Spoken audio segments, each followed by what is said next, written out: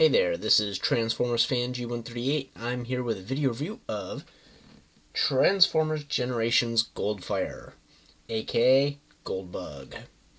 Now, two issues I have with the IDW verse and Goldfire. One, he's Bumblebee rebuilt, which, yeah, that's fine. Except they called him Goldfire. And they're still referring to him as Bumblebee in the comic book. And the only reason he's Goldfire is that's the alloy they used on his faceplate. Yeah, pretty much. Anyway, which is said in like one sentence, and that's not even spoiling the that's not even spoiling the comic book. Um, no, basically, good Goldbug figure. However, my second issue with it is they already have Goldbug in the uh, IDW universe, and he was in Metroplex's Spotlight way back when. Oh, so the first thing you'll notice are these things. They're the same as Bumblebee's weapon.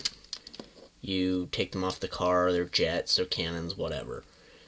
They clip together and form a gun. Yeah. I do like the uh, glowy blue pieces versus the um, pale blue ones on Bumblebee. But I'm going to set that aside. I absolutely love the colors on this guy. It's gold plastic, which I'm a huge fan of. Um, my guess is this eventually will suffer from gold plastic syndrome. Uh, over time, the gold plastic breaks down because the metallic uh, pieces in it uh, and starts crumbling away. However, none of my other gold colored plastic things have. I've never had issues with gold plastic syndrome, ever. Hopefully, this will not be the first. Um, other than that, I know that's a large complaint on people is, oh, it's made of gold plastic. And I'm like, yeah, that's a plus and a minus. Whatever. I rate it as a plus because I really dig gold plastic. Um, so if we look at the underside, you can see his Autobot insignia. Um, you can also see some of the paint issues here on the uh, underside of the car, where this uh, painted blue chest panel is. It's very, uh, no, it didn't cover very well in on the edges and then uh, some of the panel lines here. And the gold, you can tell, is the gold paint versus the plastic is different. However, you unless you're looking at it through the camera, which I am right now, it's not bad at all. I mean, this is actually pretty good. Um, you know, I hated the Bumblebee version. Um, they could have painted the back windows. I would have been fine with that. But um, other than that, I really like the car mode. Um, and the separation of the spoiler here, it's way more noticeable on this one than Bumblebee. Bumblebee was just single molded plastic. This area was not painted. Um, he's got the red on black paint here. He's got the uh, side strips painted. And this looks more like Goldbug than Bumblebee looks like Bumblebee. If that makes sense. So, onward to the transformation.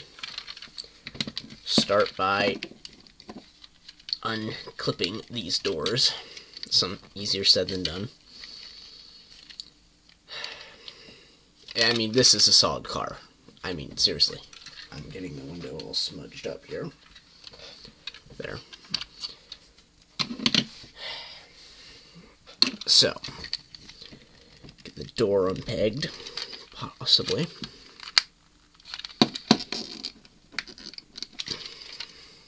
Or not.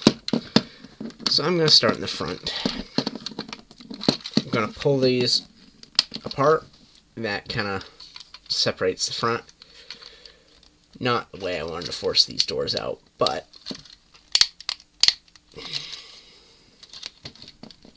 I mean, seriously, this is one solid car form. I cannot get this out.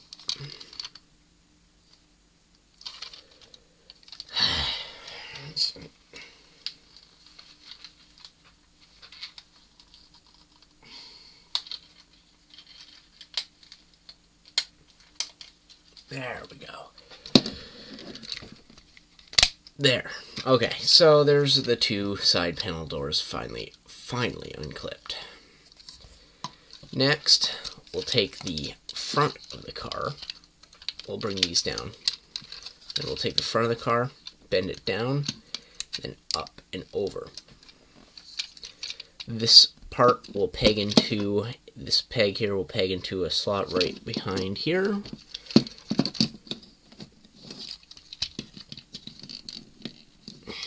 In a minute, because apparently it doesn't want to line up.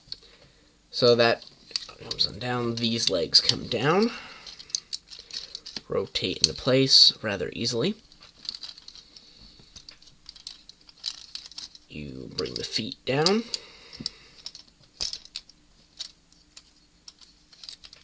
And you have the legs.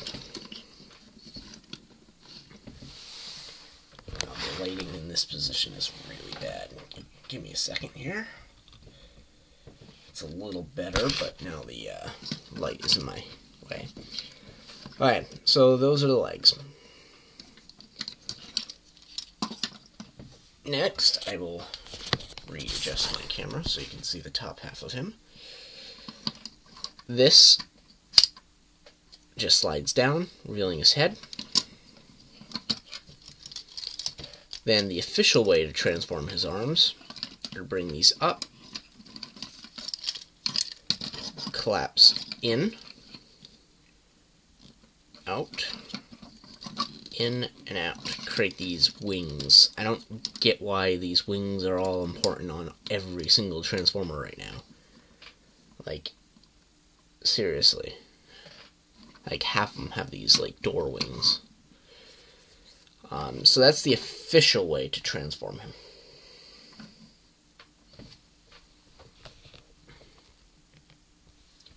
Camera is picking up the glare and does not want to focus on his features. But here's his new face. It's not bad. I like it. Um, one thing you do have to watch out for, same as the Bumblebee mold, if you put any pressure on the backpack, this chest plate likes to start sliding up again.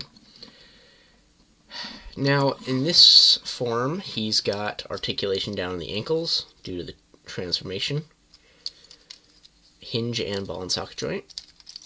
He's got a ratchet joint knee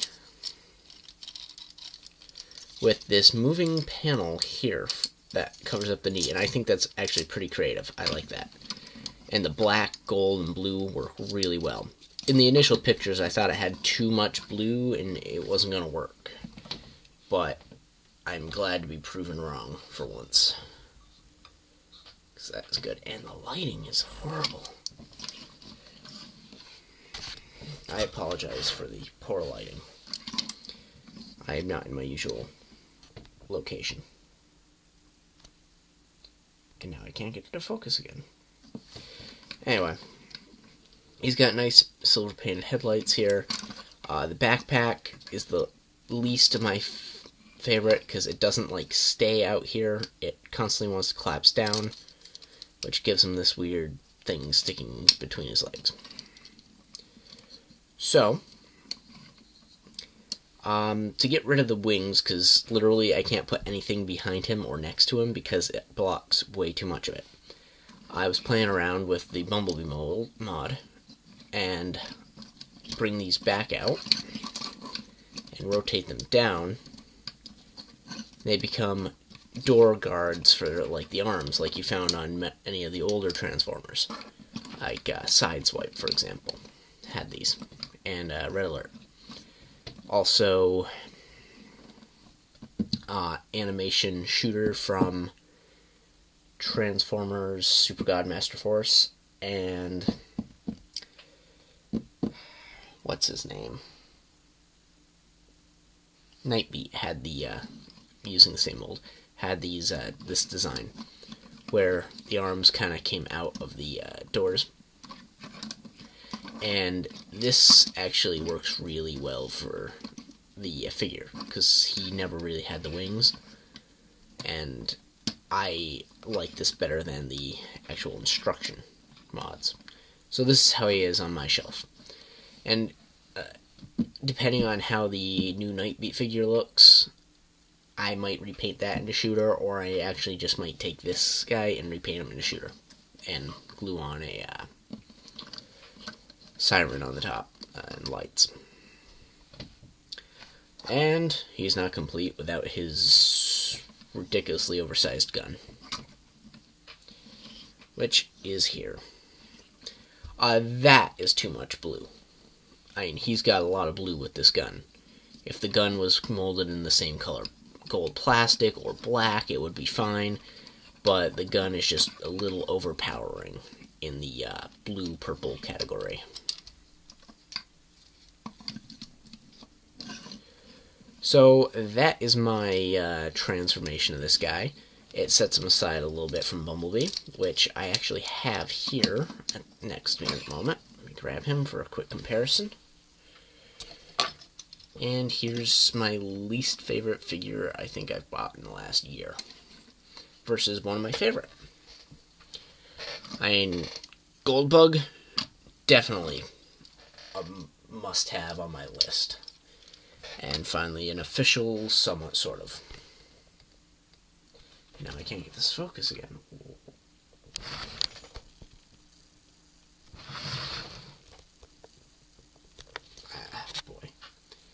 Driving me insane. Anyway, point is, Goldbug, Bumblebee, Goldbug better. Much, much better. This does not scream Bumblebee to me.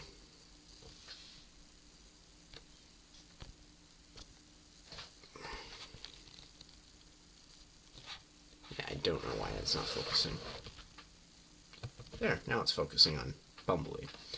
Um, let's see if we can get focus on Goldbug. There. Apparently they have to be directly in the center to focus. But, uh, yeah. Bumblebee, I hate. Goldbug, I like. I think I ranked Bumblebee at a 6. I rank Goldbug at a 7. He's a 7 because the colors, in my opinion, work better. Bumblebee should have more black. And Goldbug, I rank at 7 because um, he still has the same flaws the Bumblebee mold does, like uh, the backpack and this constantly wanting to rise. But overall, I like the figure better. This this guy does not shamefully go on my shelf. Let's put it that way. Very much like this guy. Uh, that's all for my video review. Um, 7 out of 10 for this guy. You've heard my reasons. Overbearing gun. Uh, flaws in the mold. Other than that, a little bit of paint issue on the chest plate. So that's how he earns a 7. Otherwise, he would have been an 8. Probably the paint job, if it was a little bit better, would push it to the 8. But overall, most of the paint apps are very solid. It's just the one here on his chest. Uh, other than that, I think that covers it. Uh, thanks for watching. Hope you enjoyed. Check out my channel. Subscribe. Uh, hopefully be adding more reviews soon. Uh, if you have any requests, please post comment down below. If you have any questions, also do the same. I'd be happy to answer them for you. Thank you, and have a good whatever day, morning, evening, whatever it is where you are. Thanks for watching.